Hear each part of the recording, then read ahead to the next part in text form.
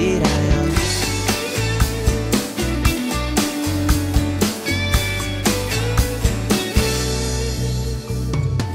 una vez más, una vez más, yo me iba hacia atrás. Creo que fue para ti un alivio el dejar esta historia.